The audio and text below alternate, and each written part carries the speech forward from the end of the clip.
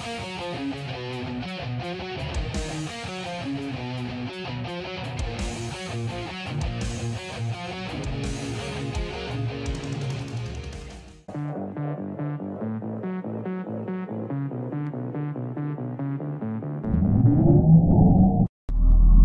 what's up guys? Bajheera here. I Wanted to make a video for you guys going over the 8.1 Azerite traits for Arms and Fury Warrior, because this is a question that I'm getting a lot on stream, and with some new traits added, and I feel like a few things kind of balanced out differently, especially with just the way these classes are playing right now, the way they're behaving in the meta.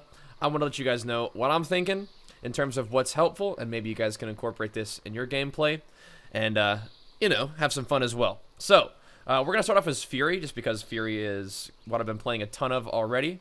And I feel like the traits, you have some kind of cool options here. But the basics behind what you're looking for for Fury is your main damage is Rampage, basically.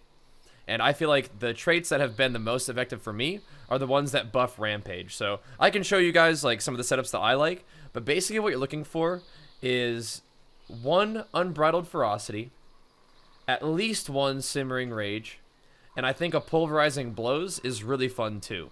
Um, you don't necessarily need more than one unbridled ferocity. Um, more than one simmering rage only buffs the damage, so these two kind of work the same way. Uh, additive damage on these for sure, but it's only going to generate one rage per strike. Having two simmering rage is not going to generate two rage per strike, and having two unbridled ferocity is not going to give you a 16% chance to grant rec. It's just only going to be 8% chance no matter what but it'll add damage. Uh, this will once again be one rage per swing or one rage per strike no matter what. Uh, but pulverizing blows does stack. So if you are wanting to stack traits, I think one of each of these is really good. That might be the best setup. Um, the thing about pulverizing blows is that I, I haven't really found a Azerite piece as like a really good secondary.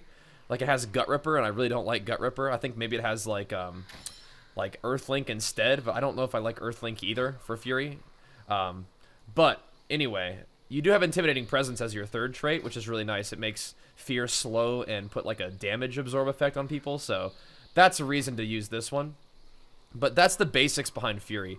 Is I think one of one of Unbridled Ferocity, one of Simmering Rage, and one of Pulverizing Blows is really good. If you wanted to stack two, it would probably look something more like uh, two pulverizing blows, you're going to get the most out of that. You can stack two Simmering Rage, and sometimes I still do, but mostly because it gives me a triple Elemental Whirl. Uh, Elemental Whirl is like a pretty strong secondary one because it does stack up. So if I got a if I got an Elemental Whirl proc of uh, Mastery, it would be giving me like 700 Mastery, which is a lot, almost 800 Mastery because of how high item level it is. So that's a lot of Mastery, and then it can also proc Haste or Versatility. All those stats are really good for Fury. So I think Elemental Whirl is definitely a good secondary stat to look out for. So if you see me using something other than Pulverizing Blows, it would probably be this setup right here, where I have an Unbridled Ferocity and two Simmering. Um, but you do have some options on that. And once again, you're going to have to, like, for example, on my Horde Warrior, you know, I've had to kind of just make do with whatever traits I've gotten for a while. But now my Horde Warrior has a setup very much like this, just not the same item level. Although my Horde Warrior does have a 385 helm before my ally does, which is pretty funny because he's been, you know, 120 for a week. But anyway, that's the setup for Fury that I'd recommend, is try to find a way to get yourself one of each of the uh, Rampage buffing traits. Um, and then if you don't want to use Pulverizing Blows, then find yourself a nice Simmering Rage because that gives you the most damage. Um, and also has a lot of nice secondary traits. But those, so does this one, though. So keep that in mind. Um, we can swap over to arms too. Now arms, I would say, is uh, not as exciting um, because for me, arms is a lot slower paced. It's uh, it's kind of like a very very bleed focused in terms of the way it deals damage. But what you have for arms are basically two options here. Um, you really ought to get a striking the anvil trait somewhere.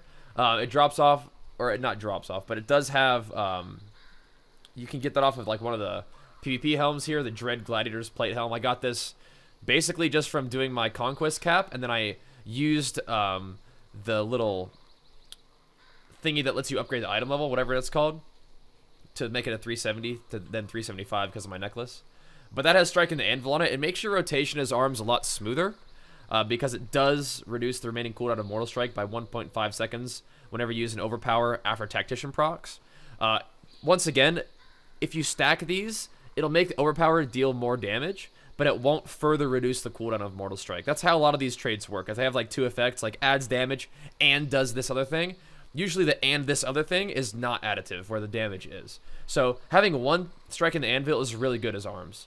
Um, and then keep in mind they also nerfed Crushing Assault. So stacking triple Crushing Assault was good, and it's still maybe okay, but you may be better off just with the way arms does damage, is to go a striking the anvil, and then take two battlefield focus or battlefield precision. Because as arms right now, a lot of times you're gonna be playing Rend, you have deep wounds, and you're gonna be playing with another. You know, obviously if you're playing with like, you know, somebody in a threes team or you're in a battleground or whatever, this is gonna be procking a lot. It's gonna deal a lot of damage for you. So striking the anvil for rotational smoothness, and then two battlefield precision to get those those big stacks and deal a lot of damage um, with your bleeds and other and other you know players' damage too. Um, in terms of secondary traits, I love once again the intimidating presence is really fun, and as as you saw in my Fury one, I have one piece of gear that does give me an extra rallying cry bonus. I feel like arms is one of the reasons I don't love it right now is because it is so utility focused, and I'm you know I like to deal big damage, and arms is all about this. We have the striking the anvil is an option. We have over, we have battlefield precision, which is an option, which are which are two of these, right? But then arms, once again, I feel like it's kind of like all bleed focused you're just kind of sitting in D stance, mortal striking, and bleeding stuff. So it's definitely not like a super high like burst damage setup right here.